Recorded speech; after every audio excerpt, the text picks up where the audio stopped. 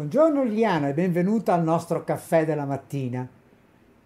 Ciao Francesco, grazie dell'invito. Allora, stamattina avrei voglia di parlare di un argomento che, voglio dire, per certi versi è a cavallo tra la fisiologia e purtroppo a volte la patologia. Mi riferisco alla, eh, al bisogno e al desiderio che una persona può avere di avere un'ottima forma fisica e anche di mangiare sano, no? Cioè è una cosa che eh, se ne parla tantissimo, eh, ci sono articoli sulle riviste, eh, su internet, in televisione, si insiste molto sull'importanza di una sana alimentazione. E quindi su questo dico subito che fa assolutamente bene a tutti, anche a chi ha eventualmente problemi, problemi di tipo psichiatrico, sicuramente una sana alimentazione aiuta. Su questo quindi non entriamo nel merito, però esiste anche una sorta di ossessione rispetto al, al mangiar sano.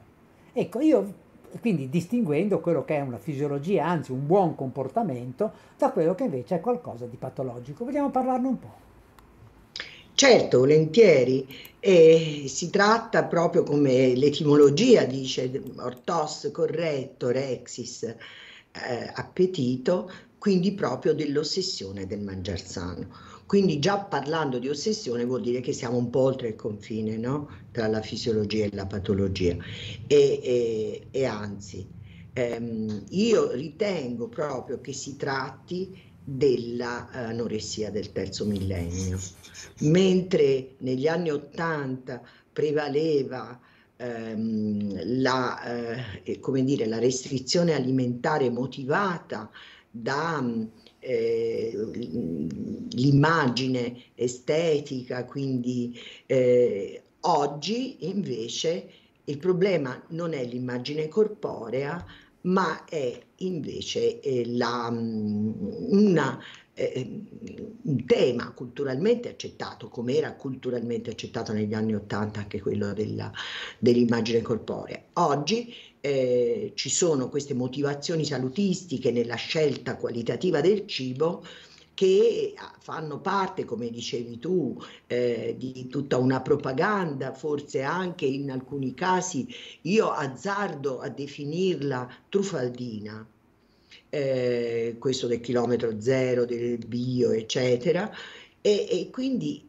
alla fine però il risultato in una eh, persone particolarmente vulnerabili è la stessa eh, dell'anoressia eh, che siamo abituati a considerare nel passato, cioè privarsi di alimenti per motivazioni pseudo eh, salutistiche del tutto eh, infondate scientificamente, col privarsi di alimenti anche fondamentali e raggiungere poi degli aspetti anche importanti di decadimento somatico, come nel caso dell'anoressia nervosa restrictor. Ecco, ma, Inoltre, ecco, scusa, ehm, entrando un po' nel merito di queste condotte, puoi un po' spiegare bene quali sono gli aspetti, ti spiego perché ti faccio questa domanda, quali sono gli aspetti che devono essere eh, tenuti presenti per accorgersi che stiamo andando verso una vera patologia. Tradotto in altre parole, anche il caregiver, la persona che può essere accanto a una persona che ha questo tipo di, di condotta, deve forse, come dire, avere dei campanelli d'allarme per dire, amica, certo. amico, c'è qualcosa che non va, parliamone.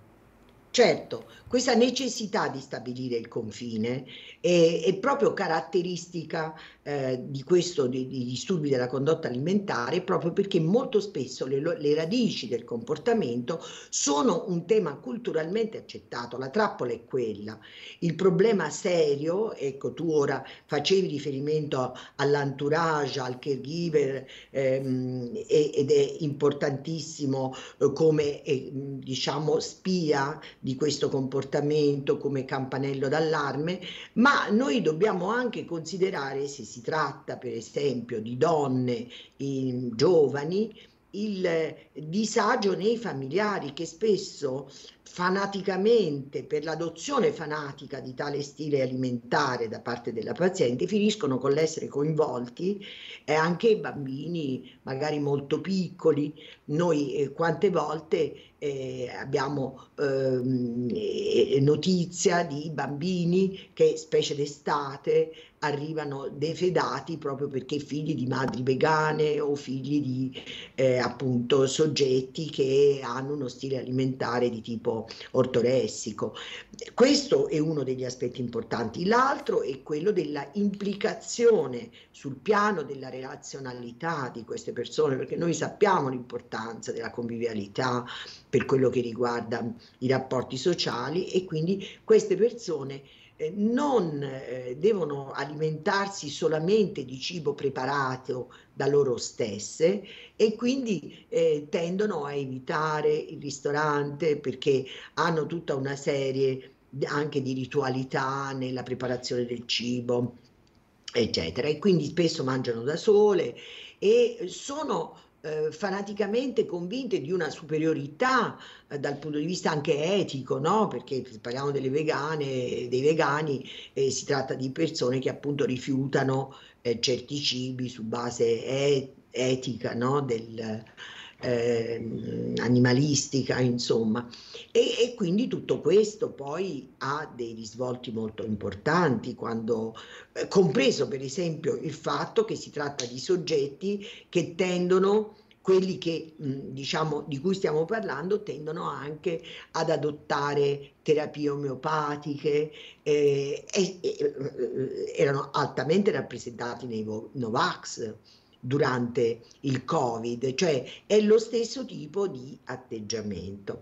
A questo punto tu mi potresti chiedere, ma mh, eh, il parallelismo con l'anoressia nervosa che, eh, in cui l'immagine corporea veniva considerata proprio il nucleo psicopatologico, eh, come, come si giustifica? Ecco, perché io sposterei il nucleo psicopatologico dall'immagine corporea alla modalità di pensiero monoideico particolarmente restrittivo, intenso che questi soggetti hanno e quindi andrei a ricercare quella radice di tipo autistico che è alla base di questo comportamento, come dire, mh, fanatico, e che oltretutto per l'anoressia nervosa è stata dimostrata in letteratura eh, già anche da studi recenti. E quindi, ehm, e quindi ehm, il fatto che eh, appunto noi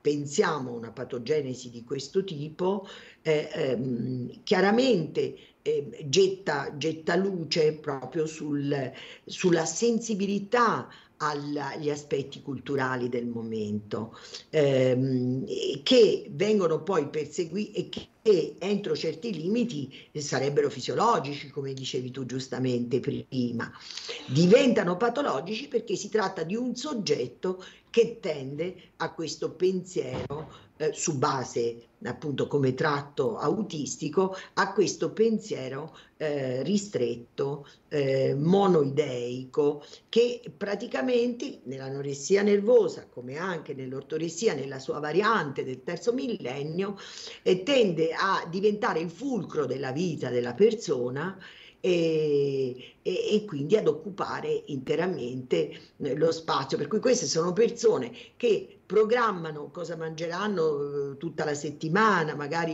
eh, impiegano del tempo per andare ad acquistare nel posto giusto quel tipo di alimenti appunto che ritengono eh, più eh, diciamo rispondenti ai loro eh, canoni eh, diciamo adottati eh, così eh, su base eh, unicamente eh, personale. Eh, tra l'altro non è tanto che si parla di questo, di questo disturbo, questo disturbo fa la sua comparsa alla fine degli anni 90, proprio alla fine del, del del secolo scorso da parte di Bratman che ne era affetto, uno psicologo che ne era affetto e ne era, come si dice tra virgolette, uscito. E quindi ha scritto un libro che peraltro è anche divertente da leggere quindi consiglio, eh, non è per tecnici, eh, su um, questa ehm, eccessiva preoccupazione di un'alimentazione sana e, e, e quindi non, non c'è nella nosografia psichiatrica l'ortoressia, quindi è una patologia emergente non ancora riconosciuta anche perché noi sappiamo che la nosografia eh, psichiatrica e tutti i suoi cambiamenti nelle successive edizioni si basa eh, proprio sui risultati degli studi e la letteratura ancora non è sufficientemente eh, numerosa da poter eh, conferire elementi di validità a questa categoria diagnostica, per cui non è stata inserita nemmeno nel DSM5TR, insomma la nosografia, eh, l'ultima versione dell'anno scorso dell'Associazione degli Psichiatri Americani che fa, poi viene adottata in tutto il mondo e, e quindi eh, c'è interesse comunque e nella letteratura scientifica c'è un progressivo aumento del numero di lavori eh, su questo tema, quindi viene studiata. E quindi proprio, eh, ripeto, la radice culturale che ha capovolto completamente sì. i miti di ieri. Ecco, però a questo proposito, scusami, c'è l'ultima domanda che volevo farti, è però collegata con un problema che penso anche ai Novax, che tu hai giustamente un po' associato, no? Che è il tema della coscienza di malattia. Tradotto in altre parole, io ho l'impressione che il vero problema, e che forse spiega per certi versi la mancanza di dati ancora diffusi, no? eh, diciamo dal punto di vista della ricerca, ecco, il vero problema è l'alleanza terapeutica, cioè queste persone non si sentono malate e quindi come tale mi sembra che sia molto difficile che chiedano aiuto. Questo Certamente. mi sembra il problema dei problemi, no? Hai centrato, hai centrato completamente. Loro non chiedono aiuto perché anzi sono convinti, come dicevo prima, di una superiorità rispetto agli altri che invece mangiano, secondo loro, cibo spazzatura. Eh, e quindi ehm, naturalmente non chiedono aiuto per la mancanza di coscienza di malattia, eh, certamente. Eh, ma l'aspetto fortemente disfunzionale, come sempre quando si parla di una patologia di questo tipo che coinvolge la sfera appunto anche eh, diciamo ehm, eh, de, de, dell'adattamento psicosociale, queste sono persone che passano ore al giorno per pensare al cibo sano eh, nel senso che si programmano, quindi chiaramente riducono come il paziente ossessivo, perché poi la modalità di pensiero è la stessa, che magari ti passa la mattina due ore in bagno eh, nello svolgere i suoi rituali abrutomanici e poi alla fine magari decide di fare assenza dal lavoro perché ha fatto troppo tardi. Sì, vedi, e, vedi quindi... il problema però è che in genere, molto spesso, il paziente ossessivo, come dire, soffre della questo, del suo disturbo e a volte, anzi molto spesso, prova a chiedere aiuto, cioè nel senso che al di là del rituale che, in cui si sente costretto a, a fare, qui invece sembrerebbe che la coscienza della costrizione manchi. E questo ho l'impressione sia un tema difficile, cioè nel senso che, eh, come dire,